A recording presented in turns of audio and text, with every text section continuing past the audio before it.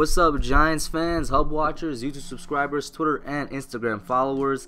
It's No Name. I'm back again with another Giants video, the first half reaction of Giants at Patriots Thursday Night Football. And the reason I'm talking so fast, guys, is because what a game. Man, what a game, what a game, what a game. So exciting. Definitely did not expect this. I don't think anybody expected this. 21 to 14 at the half and the game is closer than it looks and it feels weird saying that. You know 21 to 14 you know obviously just a one score deficit uh, and the Giants are actually in this game playing really well. Big thanks to our defense.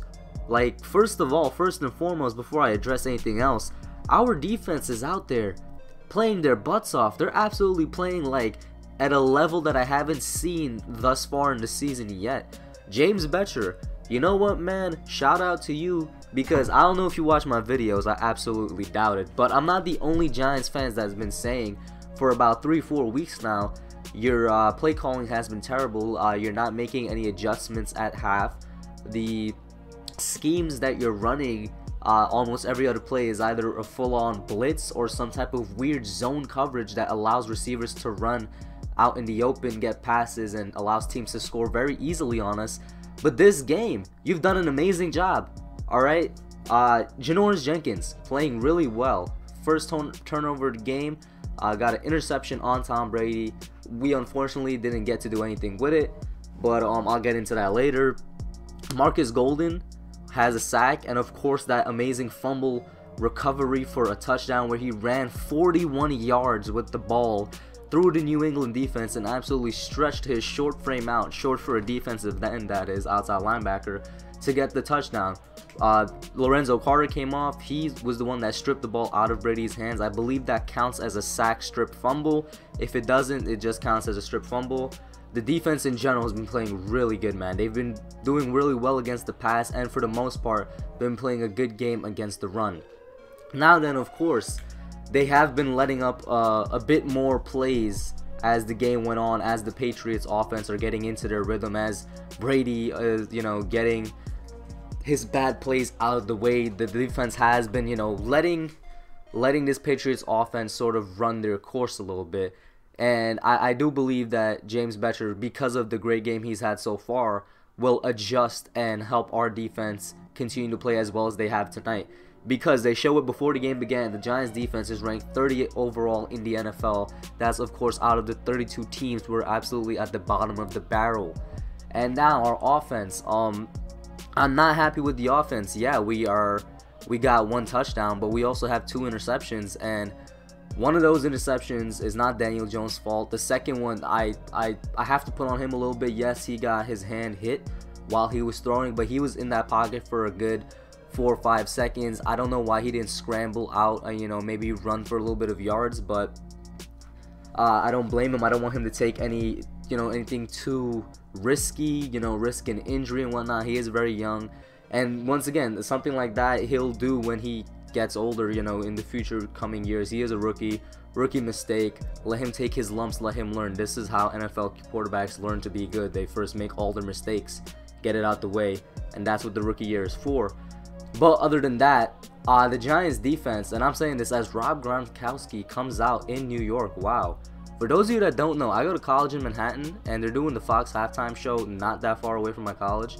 You got Michael Strahan there, who's obviously a Giant great. Terry Bradshaw, a Hall of Fame quarterback. And now Rob Gronkowski. I could have met these guys tonight. But that's besides the point. Getting back on track. So yeah, getting back on track. Um, the offense for the most part hasn't looked too good, and I really have to put a good amount of the blame, you know, have to heap it on Pat Shurmur. And I said this in my Patriots preview, and I've said it uh, in my Vikings recap. I've said it for a good couple of weeks now. Pat Shurmur, you haven't had a good game yet from the offensive side of the ball. You've had a good half in the Tampa Bay Buccaneers second half. But really, since that Chicago game last year, you know, on December 2nd, I think it was, or was it actually December 1st?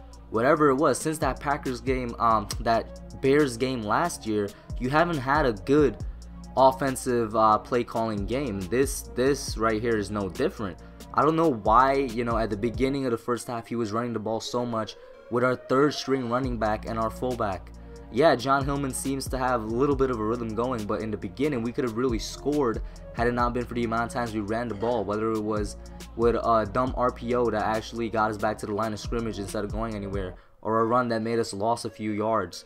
Or, you know, what it does is it takes up time, and then it took up two of our downs, and next thing you know, DJ was in like about two or three third and long positions where he was forced to force the ball into zones, which is really hard to, you know, make a good play, and obviously we didn't make them. Uh, so Pat Shurmur, I really don't know what to say except you gotta adjust a lot at the half. At this point, I can kind of see the game might shift from a really good defensive game in the first half to what might be a shootout in the second half. I really hope James Bettcher is able to make his adjustments and continue to call a great game as he's done so far to try and restrain that Patriots defense. And I hope that Pat Shurmur can come up with something, you know, not stale, can come up with a good mixture of plays to call to catch the Patriots defense off guard. Maybe not run the ball so much. Yeah, John Hillman has a bit of a rhythm now, but run a bit more um play actions, may run a bit more draws, you know, run a bit more drag routes, you know, move the ball horizontally. Don't always force it downfield. Run some drags, run some out routes, a little bit of slants, which you already have mixed in there, but for the most part, don't rely on the run too heavily because of the guys we have back there. If we had Saquon back there, it's a different story. If we had Wayne Gallman back there, it's a different story. But know your personnel. All in all, guys, I'm really proud of how this team is performing, especially the defense. Even if we lose, I can come out the game happy because honestly, we're outperforming ourselves. So I'll be back at it in the second half. You're.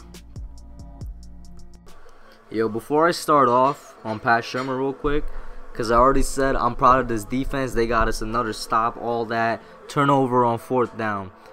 How do you, on third and nine, call a screen pass behind the line of behind the line of scrimmage? How do you do that against the best defense in the NFL, Pat Shurmur? Are you serious?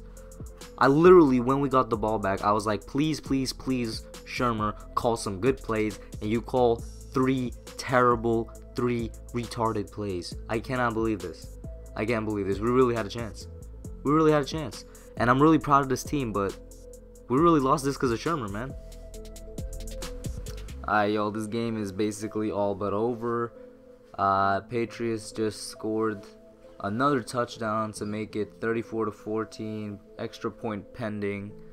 Um, yeah, man, I guess the 17 point underdog was indeed correct because Giants are being beat by 21. but the score definitely is not indicative of how the game went. Despite all my criticisms of Pat Shurmur, I do feel like he failed us this game. We were very much in this game up until I want to say the eight minute mark in the fourth quarter. We were very much in this game. Uh, Shurmur really, there's a lot to criticize him for, but man, I got to give props to this Giants defense and this Giants team as a whole. We came in here uh, missing one of our starting linebackers. We're down to our third string on one side uh, with a secondary that is ranked 28th in the league, I believe.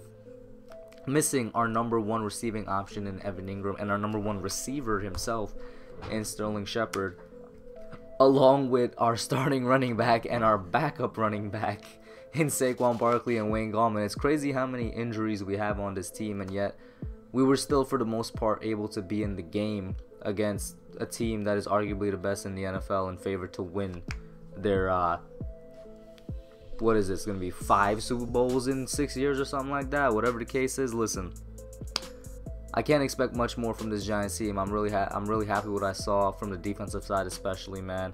Three sacks on the day, an interception on the day, a fumble recovery for a touchdown on the day. James Bettcher, shout out to you you definitely listen to all the criticisms that every Giants fan have given you, man. You made great adjustments. Um, you had this defense playing out there like they were number one in the league instead of what they actually are, which is number 30 out of 32 teams in the league. You had us looking good.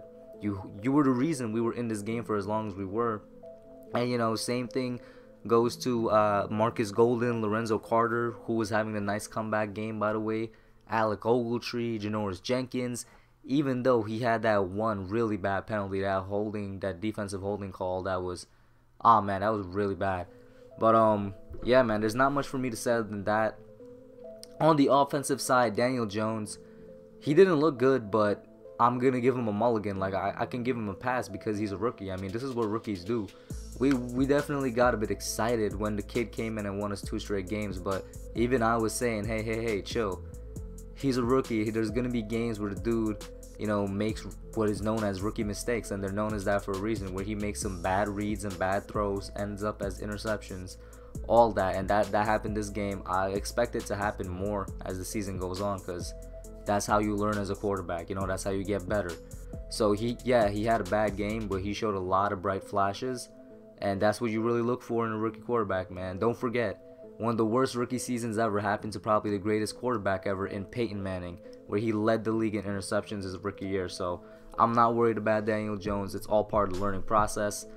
Still worried a little bit about Pat Shurmur. I did not like his play calling at all. Y'all know my opinion on him. I still believe that he hasn't had a whole game yet this entire season, and we're already six games into the season where he's had a good offensive game, you know. So I want I gotta see more from him, man. I gotta see something from him. It's crazy, but that's what I got for y'all tonight, man. Let me know what you guys think. Do you appreciate the effort the defense gave us? Do you agree with my sentiment on Pat Shurmur? And uh, how do you think this Giant team is going to do going forward? I think we got a good chance next week against the Cardinals, a team that is bottom of the league, similar to us, but we're nowhere near the Cardinals in terms of how bad we are. We're definitely above them. And then after that, we got another winnable game in Detroit. Who knows what will happen? Let me know what you guys think. Like, share, subscribe. I'm out. Yeah. Alright guys, thanks for watching. Put your comments down below. Make sure you smash that like button, subscribe, and turn on post notifications. Until next time, I'm out. Yeah.